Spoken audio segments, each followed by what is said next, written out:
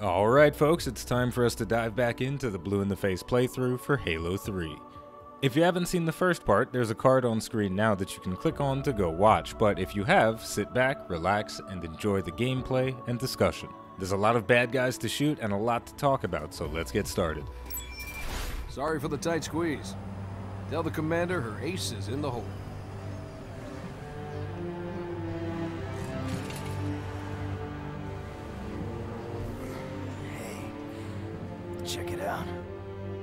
Way. A Spartan? For real. You better not be. Oh man, he's here. We're gonna be Where all did you find him? Napping. Out back. I'll bet. It's good to see you, Chief. Likewise, ma'am. Let's get you up to speed. Prophet of Truth's ships breached the lunar perimeter, smashed what was left of the home fleet. Terrestrial casualties from the subsequent bombardment were extreme. Truth could have landed anywhere, but he committed all his forces here, East Africa, the ruins of New Mombasa. Then they started digging. What about Halo? We stopped it, but only temporarily. Now, the Prophet of Truth is looking for something called the Ark, where he'll be able to fire all the Halo rings. If he succeeds, humanity, the Covenant, every sentient being in the galaxy. The rings will kill us all. Ma'am, I have Lord Hood. Patch him through. Good news, Commander Keys? Good as it gets, sir. So I see. What's your status, son? Green, sir. Glad to hear it. Commander's come up with a good plan, but without you, I wasn't sure we could pull it off. Truth's ships are clustered above the excavation site, and his infantry has deployed anti aircraft batteries around the perimeter. But if we neutralize one of the batteries, punch a hole in Truth's defenses, I'll initiate a low-level strike. Hit him right where it hurts.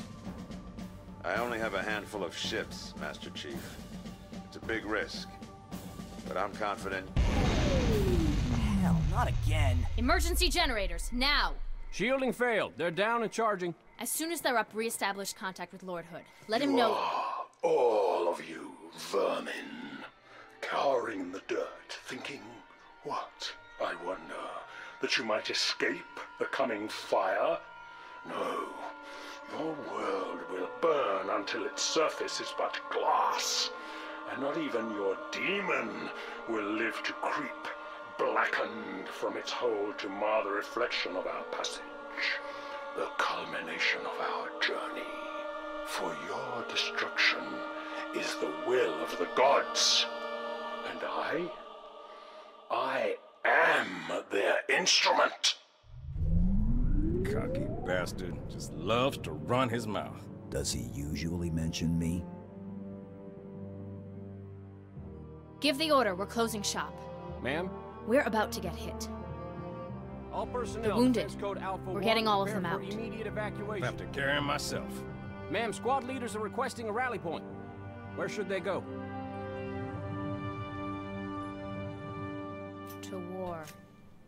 Alright, first of all, to war is not a rally point, but that's okay. We'll figure it out as we go. There's a little bit of dialogue going on right here, but it's not ultimately important, so we're just gonna move along and, and go ahead with the mission. We gotta pick up some guns, and I think what I'll do is, what else do we have? We got battle rep. Oh, there's an SMG. I haven't really used any of these, so why don't we dual wield SMGs and have some fun with that? But in, in that cutscene, there we saw so much personality from all of the characters. The Master Chief has a lot of subtlety in his performance that does make him seem human, despite being so so godlike and and and impressive. And then some of the other characters, like the Prophet that we saw, he's completely bombastic and absurd, and the speeches that he gives are over the top and wild and and then we have Johnson and, and all the other characters. But they, there's so many personalities that may feel like they could clash, but they're written well enough that they don't feel like they they butt heads against each other. I need that hangar cleared for evac ASAP. We gotta clear the hangar for evac. Let's open that bad boy up. Well, I'm sorry I couldn't save them. Let's let's get to it. Oof. Dual wielding submachine guns is incredibly satisfying. I've, I've obviously got to be careful because we are playing on the heroic difficulty, so I will get chewed up if I push too hard. But I can really, oh, I just feel so powerful when I'm when I'm dual wielding these things. Now there is a brute up across the way, so he's gonna hit me pretty hard with that brute shot, and there's a lot of grunts as well. But we're shredding them pretty good right now. What? A flare? I'm blind. I can't see. Well, that wasn't ideal.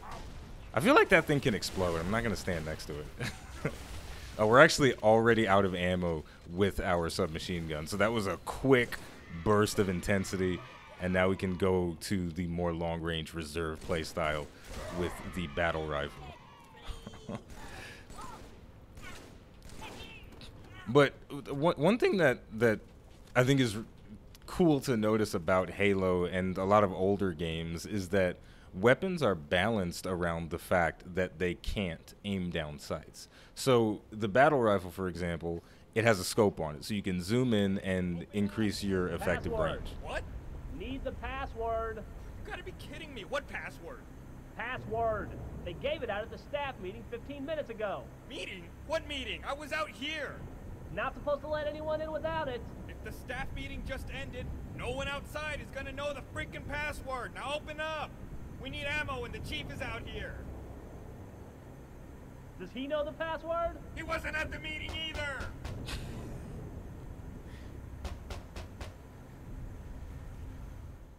Is he actually going to open the door, or is that not the way I'm supposed to be going right now? I have no idea. I think I just stumbled upon a secret. well, uh, in any case, weapons are balanced around the fact that some can aim down sights and others can't. So the the battle rifle is a long range option, and it's solidified as a long range option because it can aim down sights. And then weapons like the plasma pistol and the SMG and the assault rifle, those weapons can't zoom in, so their effective range is significantly reduced. All right, those guys are, are really causing problems for me. Let's just try and there we go. We got we got him down. And that's something that it adds to the the different feel of the weapons because when you have all the weapons being able to aim down sights in for example a game like Destiny then there's quite a bit more crossover in how weapons feel so a submachine gun will feel very similar to an assault rifle unless they are significantly different in their design. But in, in the case of Destiny, the the design of the assault rifles and the submachine guns is very similar. So a lot of the guns can feel kind of samey in that regard. But if you can't aim down sights with an SMG and it's solidified as you got to be close if you want to hit your targets, then that changes everything. All right, we're just mowing down some grunts here. I think I saw a fan. Yeah, I saw a phantom out the corner of my eyes. So that's gonna be interesting. But I've got a big gun, so I should be able to do something about it. Yeah, there we go. We can destroy his main turret to limit his effectiveness. Ah, there's a brute coming down. Let's just lay into him. I'm a one-man firing squad right now, but I'm about to run out of ammo, so let's just drop it and switch over to the BR and do what we can with this. See, it's it's interesting that modern games like Halo Halo 5 as an example and, and Destiny they they give every weapon the ability to aim down sights and even even something like uh, Valorant has gone down the path of of allowing every weapon to aim down sights but in games like CS:GO, I don't think every gun has has a scope on it or, or an aim down sights functionality. Hey, get off the turret, it's mine. Give me it. So that is a, a design decision that, that's that's really fascinating, and I wonder if Halo Infinite is going to adopt some of the philosophies that the classic Halo games had in, in terms of the way the game is balanced and the way it functions. But it, it does, from what I've seen so far, it does seem like they want to go down a, a different route and, and sort of modernize the Halo experience, which I suppose is fine. but to an extent, I don't I don't necessarily think that Halo needs to be modernized. I think it just needs to evolve, but not necessarily change. Oh crap! Crap! Crap! Back away! Back away! Uh oh. Uh, uh, okay. No. No. There are so many. You can't hide from me in this stupid bubble shield. Not today, friend. There we go. We're, we're going in, and we're going in hard. There's still a couple more guys around here. I just don't know exactly where. Who threw a frag grenade? Alright, looks like we cleared out the hangar, and now there's a pelican coming in hot. Man, there's a lot of action going on out there. Chief, op center, double time. The brutes are pressing hard. Alright, Johnson wants me to head to the op center, so we have successfully helped these guys evacuate. They're probably going to get blown up as soon as they leave. Maybe? Alright, they actually made it out the door. Alright, well, that's uh, fortunate for them. Now let's head back to the ops center and see what we can do. Because uh, the, the discussion of whether something that is old should be modernized to the extent that it's somewhat unrecognizable from what it used to be is, is interesting. As, as a fan of Star Trek, I've experienced this a lot and very acutely. But hey, let's let's dive into the yeah, ambiance for a minute. Like These guys are saying they don't like what they're hearing right now, and I don't necessarily like it either. Now, I I'm either supposed to go back this way.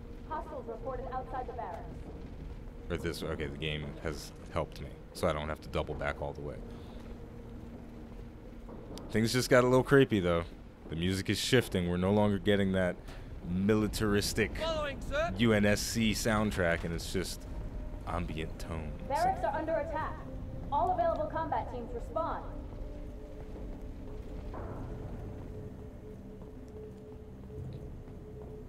Anyone in the barracks, I need a sit rep now. The stage has been Sir, set. this way. All right, let's see what's okay. Coming out of the vents. We got the fly boys. Oh, that's not the exit. This is the exit. Oh, they ate him. Wrong button. That's the one I wanted to put. oh, I can't actually walk through this. I thought this was a, a, a shield that I could kind of walk through, but oh, this this is this is scary. I don't know how I'm gonna really contend with this. Oh, they can shoot through the through the fence. Oh, that's maybe I can. I don't know. My shields are not gonna come back while these things are out here. Maybe I can manipulate cover a little bit and just pew pew them down with the battle rifle as best I can every time I do get hit, it is going to descope my weapon, which makes things a bit harder. But the, the hip fire is still very accurate, but I, I want to get in close and make sure all my shots hit because I don't have that much ammo. I got one more full clip, but we have thinned out the pack pretty well. Man, look at all this useless weaponry. There's so many plasma pistols on the floor and all of it is completely useless. Have a look. A little going away gift for the hmm. Covenant. We've linked it to smaller charges throughout the base. Johnson, soon as the evacuation is complete, start the timer. Understood. Good luck, everyone. See you on the last Pelican out. Alright, looks like we got a bomb.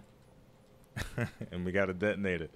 Unfortunately, Sergeant Johnson does not move at the same speed as the Master Chief, so following him is going to be a little bit annoying. Hurry up. Brutes have taken the barracks. Marines are trapped inside. Those apes ain't much for mercy, Chief. We both know what they do to prisoners. Get to the barracks. Save those men. Then escort them to the landing pad for evac. Let's see what we get. Wow. Ah, there's a big hammer boy at the top.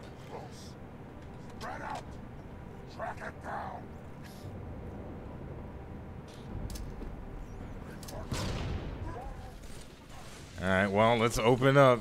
We're going loud. I'll fight from range as much as I can with the battle rifle to thin them out. I didn't know what that was.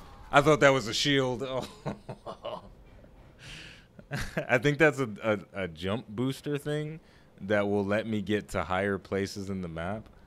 Oh boy, this is going to be somewhat difficult. All right, let's throw these grenades out again and see what we can do. The, the brute shots are going to be problematic. All right, you know what?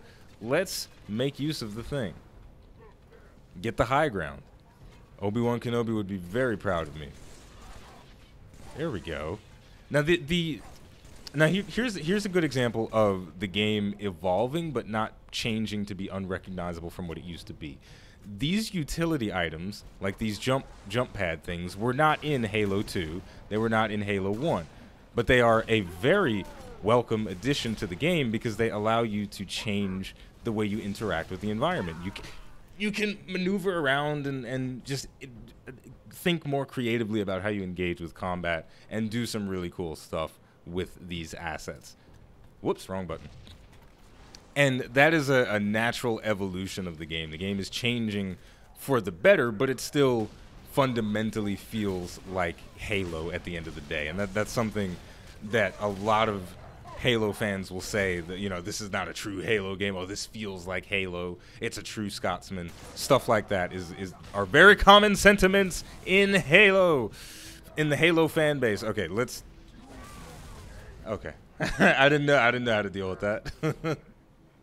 but but the sentiment of a, a, a, Halo game feeling like a Halo game is something that comes up a lot in the Halo fan base when they're talking about different entries in the series, specifically Halo 4 and and and Halo 5.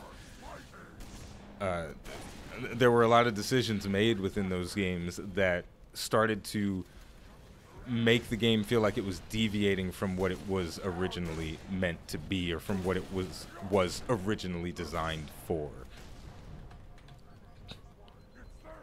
All right, we got a lot of shotgun ammo, so I'm gonna try and work with with this as best as I can. I want to I want to clear out the the normal brutes before the hammer bro comes in because he's gonna cause me some epic problems. And I'm not going in there, bro. Oh, where'd he go? Oh, he's down at the bottom now. But th these jump pads and, and the, the bubble shields and all the other abilities that were added, or utility items that were added, they come in addition to the base Halo gameplay. So they don't make the game feel unrecognizable from what it used to be. Because the, the perfect example of that is all of these assets that I have could exist in Halo 1 and the game would still feel fundamentally the same. But if you add ADS, no, no, no, no, no. Wait, wait, wait, wait, wait, wait, wait. Yes, this is exactly what I wanted to do last time. All right, let's. The battle rifle is not really gonna help me right now. I, I need to just do massive amounts of damage from up close. Oh, the brute shot. That's what I need. I'll finish this point in a minute. I just gotta. I gotta hide for a second.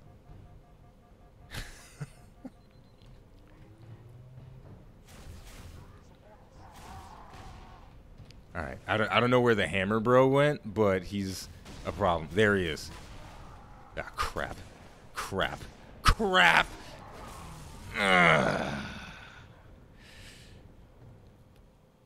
My point is, it's possible to evolve and improve a game without fundamentally changing its systems. And fundamentally changing a game's systems as you move forward in the franchise is dangerous.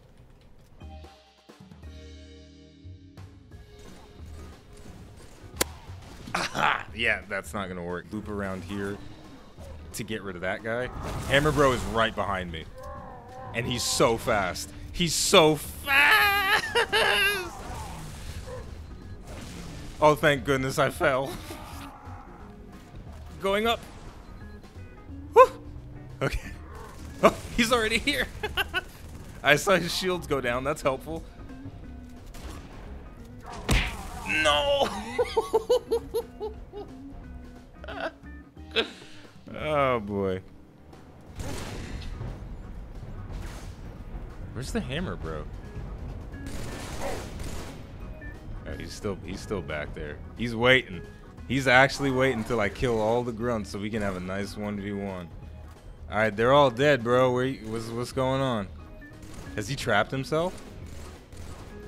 I think he trapped himself. Uh, no, he's, he's he's not trapped, but he's uh, yeah, there he comes. Okay, I, I kind of wish he was trapped. I wish he was trapped. I'm out of ammo. Nope. Not like this. He's the only one left. Please. Please. Please. Please. Ah! Ah! No!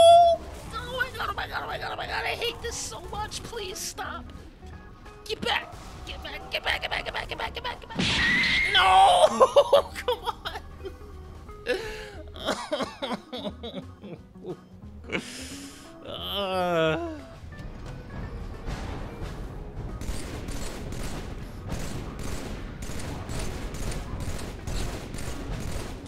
Fucking killed him, bro. Oh my god. That was a nightmare. Picked up invincibility. Of course I get invincibility after I destroy him. I need to get a checkpoint right now, dude. Oh my god. That was such a, a crazy fight. So I you you can clearly manipulate him when when you play with elevation and ranges because he is a melee exclusive enemy.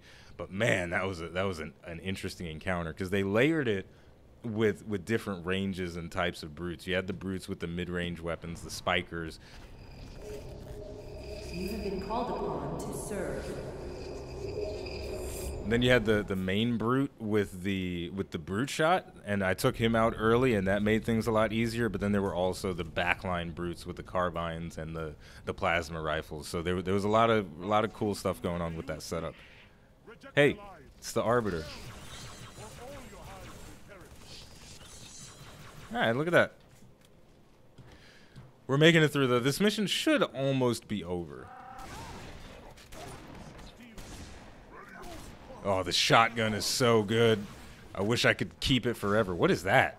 I don't remember what that is. I think it's a radar jammer.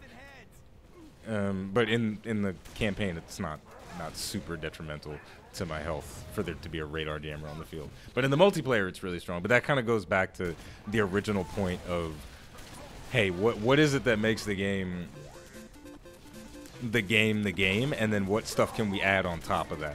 Like this invincibility is adding so much to me right now, and it makes me feel so damn cool.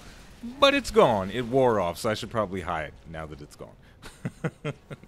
like those those little bits and pieces, they add so much to the the experience, but they don't detract from the core of what makes Halo Halo. So let's just let's just keep it going. Let's let's finish this off the right way.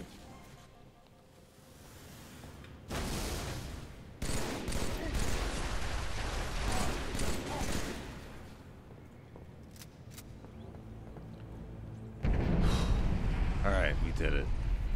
We got all the way back to the bomb.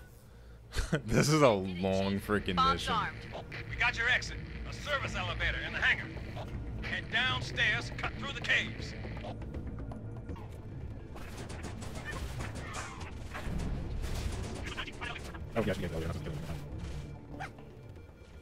Oh boy, let's get to the elevator. Come on. Get out of the way, boys.